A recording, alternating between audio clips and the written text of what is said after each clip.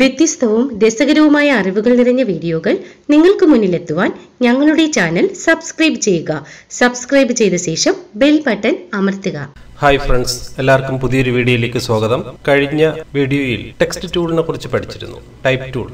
അപ്പോൾ ആ ടൈപ്പ് ടൂളിനെ കുറിച്ച് നമ്മൾ പഠിച്ചത് അതിന്റെ ഡീറ്റെയിൽ ആയിട്ട് പാരഗ്രാഫും അതുപോലെ തന്നെ ടൈപ്പ് ചെയ്യുമ്പോൾ വേണ്ട എഡിറ്റിംഗ് കാര്യങ്ങളൊക്കെ നമ്മൾ അതിനകത്ത് പറഞ്ഞിരുന്നു.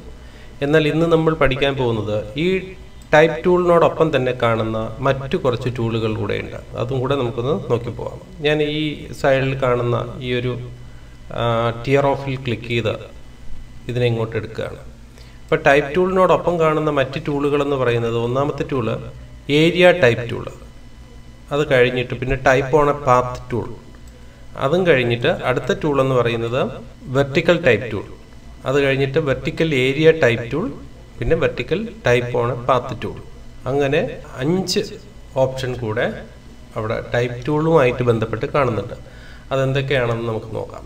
അപ്പം ഞാൻ ആദ്യം ഈ ഏരിയ ടൈപ്പ് ടൂൾ ആദ്യം സെലക്ട് ചെയ്യുന്നു. ഏതെങ്കിലും നമ്മൾ വരയ്ക്കുന്ന ഒരു ഷേപ്പിനകത്ത് ടൈപ്പ് ചെയ്യാൻ വേണ്ടിയിട്ടാണ് ഏരിയ ടൈപ്പ് ടൂൾ ഉപയോഗിക്കുന്നത്. അപ്പോൾ അതിലേക്കായി ഞാനൊരു പെൻ ടൂൾ എടുത്തൊരു ഷേപ്പ് വരയ്ക്കാൻ പോവുകയാണ് പെൻ ടൂൾ സെലക്ട് ചെയ്യുന്നു. ഇവിടെ ഫിൽ കളർ ബ്ലാക്ക് ആണ് നിൽക്കുന്നത്. ഫിൽ കളർ ഞാൻ നൺ കൊടുത്തു.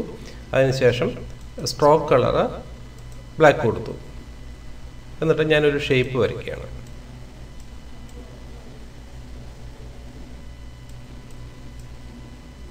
ഇങ്ങനെ ഒരു ഷേപ്പ് ഞാൻ വരച്ചു. അപ്പോൾ എനിക്കിപ്പോൾ ഈ ഷേപ്പിലാണ് എനിക്ക് ടൈപ്പ് ചെയ്യേണ്ടത്.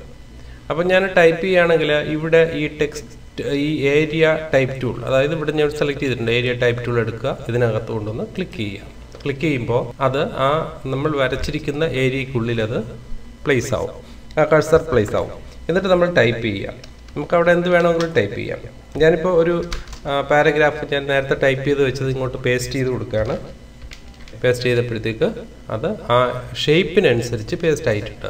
അത് നമ്മൾ ടൈപ്പ് ചെയ്താലും അത് തന്നെയാണ് സംഭവിക്കുന്നത്. അതിനകത്ത് നിന്നുകൊണ്ട് ടൈപ്പായി ആ ഷേപ്പിനനുസരിച്ച് നിൽക്കുന്നതാണ്. ഇതിനെയാണ് നമ്മൾ ഏരിയ ടൈപ്പ് ടൂൾ എന്ന് പറയുന്നത് ഒരു ഏരിയക്കുള്ളിൽ ടൈപ്പ് ചെയ്യാൻ വേണ്ടിയിട്ടാണ്. അതേപോലെ തന്നെ നമ്മൾ ഈ പഠിച്ച ഷേപ്പുകളിൽ നിന്നും ഏതെങ്കിലും ഒരു ഷേപ്പ് എടുത്തിട്ട് ഇപ്പോൾ പോളിഗൺ ഷേപ്പ് എടുത്തിട്ട് ഞാനിപ്പോൾ ഒരു ഷേപ്പ് കൂടെ വരച്ചു. ഇതിങ്ങനെ കളർ ഫില്ലായി വന്നത് ഇവിടെ ഫിൽ കളർ നിൽക്കുന്നതുകൊണ്ടാണ്. അത് സെലക്ട് ചെയ്യുമ്പോൾ തന്നെ ആദ്യമേ തന്നെ ആ കളർ ഒന്ന് നൺ കൊടുക്കുക. എന്നിട്ട് ബോർഡർ ഈ കളർ ഓക്കെ കൊടുക്കുക. ഷേപ്പ് പോലെ വരച്ചു. വരച്ചിട്ട് ഇപ്പം എനിക്ക് ഈ ഷേപ്പിനകത്ത് നിന്നിട്ട് ഇതിപ്പോൾ ഇതിന്റെ ബോർഡർ കളർ വേണമെന്നില്ല. കാരണം ഇവിടെ ഒരു ബോർഡർ ഉണ്ടാവും. നമ്മൾ ടൈപ്പ് ചെയ്ത് കഴിയുമ്പോൾ അങ്ങനെ ബോർഡർ വേണ്ടാന്നുണ്ടെങ്കിൽ നമുക്ക് ഈ ബോർഡർ ഇല്ലാതെ തന്നെ എവിടെയും രണ്ട് കൊടുത്തിട്ട് ടൈപ്പ് ചെയ്യാം. അങ്ങനെ ചെയ്യുന്നതായിരിക്കും ബെറ്റർ എന്ന് തോന്നുന്നു. കാരണം വെച്ചാൽ നിങ്ങൾക്ക് ആ ബോർഡറിന്റെ ആവശ്യം ഇല്ലെങ്കിൽ ബോർഡറിന്റെ ആവശ്യം ഉണ്ടെങ്കിൽ ബോർഡർ കൊടുക്കാം. ഇല്ലെങ്കിൽ ഇതേപോലെ ജസ്റ്റ് ഇങ്ങനെ ഒന്ന് വരച്ചാൽ മതി. ബോർഡർ ഇല്ലാതെ സെലക്ഷൻ മാത്രമായിട്ട് വരച്ചാൽ മതി. അതിനുശേഷം ഈ type tool area type tool എടുത്ത് ക്ലിക്ക് ചെയ്യുക ടൈപ്പ് ചെയ്യുക. ഇപ്പോൾ Adobe Illustrator is a vector graphics.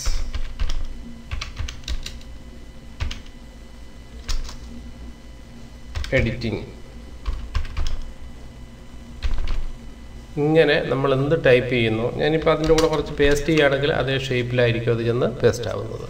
ഇങ്ങനെ ഒരു ഷേപ്പ് അനുസരിച്ച് പേസ്റ്റ് ചെയ്യാൻ വേണ്ടിയിട്ടാണ് ഏരിയ ടൈപ്പ് ടൂൾ ഉപയോഗിക്കുന്നത്. ഒരു ഏരിയക്കുള്ളിൽ ടൈപ്പ് ചെയ്യുന്നതിന് വേണ്ടിയിട്ടാണ് ഏരിയ ടൈപ്പ് ടൂൾ ഉപയോഗിക്കുന്നത്. അടുത്ത ഓപ്ഷൻ എന്ന് പറയുന്നത് അടുത്ത option type on a path ടൂളാണ് type on a path tool എന്ന് പറഞ്ഞാൽ നമ്മൾ പെൻ ടൂൾ കൊണ്ടോ അല്ലെങ്കിൽ എന്തെങ്കിലും ഒരു പാത്ത് നമ്മൾ വരച്ചതിന് ശേഷം പാത്തിലൂടെ ടൈപ്പ് ചെയ്യുന്നതിനാണ്. അതിലേക്ക് നമുക്കൊരു ഒരു പാത്ത് വരയ്ക്കേണ്ടതുണ്ട്. അതിന് മുമ്പ് ഞാൻ ഈ ഫിൽ കളർ നൺ ചെയ്യുന്നു. അതിനുശേഷം ഇവിടെ പെൻ ടൂൾ സെലക്ട് ചെയ്തിട്ട് ഇങ്ങനെ ഒരു പാത്ത് വരച്ചു.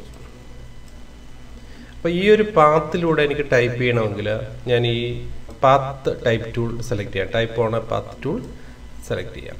എന്നിട്ട് ഈ പാത്തിൽ കൊണ്ടുവന്ന് ഇങ്ങനെ ക്ലിക്ക് ചെയ്യാം ക്ലിക്ക് ചെയ്യുമ്പോൾ ആ കഴ്സർ അവിടെ നിൽക്കുന്നുണ്ട്. അവിടെ നിന്ന് അങ്ങോട്ട് വലത്തോട്ടായിരിക്കും ടൈപ്പ് ചെയ്ത് പോകുന്നത്.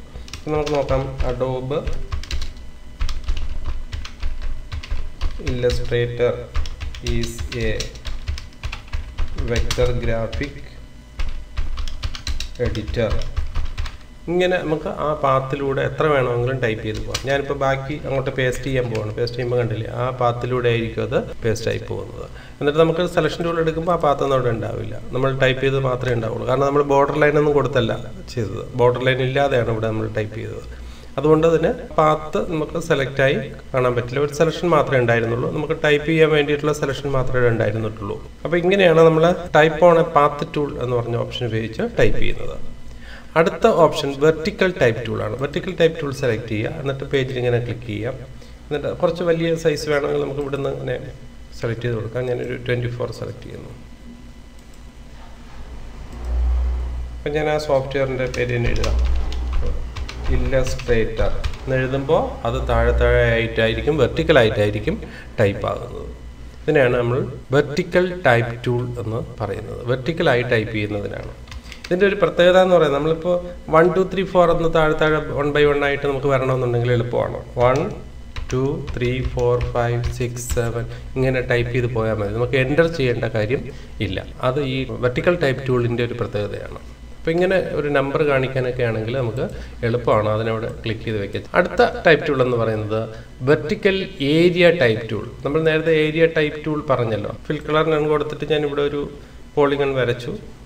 അപ്പോൾ ഈ പോളിഗണിനകത്ത് വെർട്ടിക്കലായിട്ട് ടൈപ്പ് ചെയ്യാൻ പറ്റും. ഈ ഏരിയക്കുള്ളിൽ വെർട്ടിക്കലായിട്ട് ടൈപ്പ് ചെയ്യാൻ വേണ്ടിയാണ് വെർട്ടിക്കൽ ഏരിയ ടൈപ്പ് ടൂൾ ഉപയോഗിക്കുന്നത്. ജസ്റ്റ് ഒന്ന് ക്ലിക്ക് ചെയ്യുക. ചെയ്തിട്ട് കണ്ടില്ലേ? അവിടെ ലെറ്റേഴ്സ് അല്പം വലുതായി പോയതുകൊണ്ടാണ് ശരിക്കും കാണാൻ പറ്റാത്തത്. ലെറ്റർ ചെറുതായി കൊടുത്താൽ മനസ്സിലാവും. നമ്മൾ എന്താണോ ടൈപ്പ് ചെയ്യുന്നത് അതനുസരിച്ച് വെർട്ടിക്കലായിട്ട് അത് പേസ്റ്റ് ആവുന്നതാണ് ഇതാണ് വെർട്ടിക്കൽ ഏരിയ ടൈപ്പ് ടൂളിന്റെ പ്രത്യേകത. അടുത്ത ഓപ്ഷൻ എന്ന് പറയുന്നത് വെർട്ടിക്കൽ ടൈപ്പ് ഓണർ പാത്ത് ടൂളാണ് അതായത് നമ്മൾ വരയ്ക്കുന്ന ഒരു പാത്തിലൂടെ വെർട്ടിക്കലായിട്ട് അത് ടൈപ്പ് ആവും.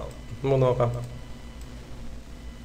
ഒരു പാത്ത് വരച്ചു. Vertical type on a path tool select ചെയ്തു. എന്നിട്ട് ഇവിടെ ക്ലിക്ക് ചെയ്തു. എന്നിട്ട് ഞാനിപ്പോൾ ടൈപ്പ് ചെയ്യാണ്.